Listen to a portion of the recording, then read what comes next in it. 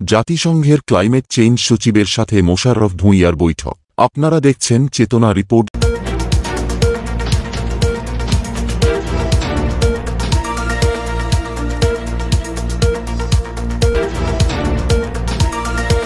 গত আট জুলাই জাতিসংঘের framework convention on climate change আনফসাক এর নির্বাহী সচিব সাইমন স্টিলের সাথে বৈঠক করেন জার্মানে নিযুক্ত রাষ্ট্রদূত মোহাম্মদ মোশাররফ হোসেন ভুইয়া। সাইমন স্টিয়েল চলতি বছরের এপ্রিলে ক্লাইমেট ভালোনারেবল নেশনস এর জাতীয় অভিযোজন পরিকল্পনা এক্সপোতে বাংলাদেশ সফর করেন। মোশাররফ হোসেন ভুইয়া বলেন, আমরা জলবায়ু কর্মের প্রতি আমাদের প্রতিশ্রুতি পুনঃব্যক্ত করেছি। আমরা জলবায়ু সমৃদ্ধি পরিকল্পনা এনডিসি বাস্তবায়ন এবং প্যারিস চুক্তি অনুযায়ী পরিকল্পনা, প্রাক্তন সিওপি সভার ঘোষণা এবং জলবায়ু পরিবর্তনে আমাদের জাতীয় অগ্রাধিকার সম্পর্কে আলোচনা করেছি। এছাড়া ও গ্রিন ক্লাইমেট ফান্ড, অ্যাডাপ্টেশন ফান্ডে ইউএনএফসিসিসির সমর্থন ও জলবায়ুর স্থিতিস্থাপকতা বাড়াতে আমাদের উপকারিতা নিয়ে আলোচনা করেছি।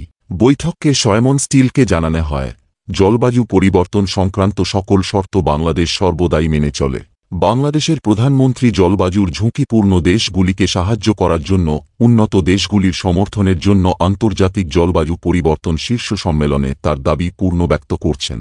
এছাড়াও রাষ্ট্রদূত উপকূলীয় প্রতিরক্ষা ব্যবস্থা এবং নবায়নযোগ্য জ্বালানি উদ্যোগের জন্য সক্ষমতা উন্নয়ন, প্রযুক্তি হস্তান্তর এবং অর্থায়নের জন্য বাংলাদেশকে আরও অধিকতর সহায়তার জন্য নির্বাহী সচিবের কাছে প্রস্তাব পেশ করেছেন। তিনি জাতিসংঘের ব্যবস্থাপনায় আরও বাংলাদেশিদের কর্মসংস্থানের উপর জোর জানিয়েছেন।